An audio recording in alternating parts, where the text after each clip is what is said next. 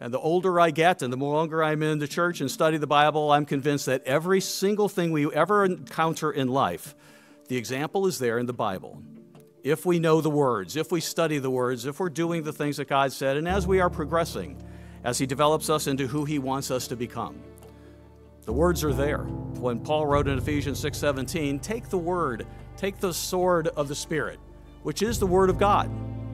You can combat the trials of life with the Word of God. Take comfort in what He had and use His words, just as Jesus Christ set the example for us.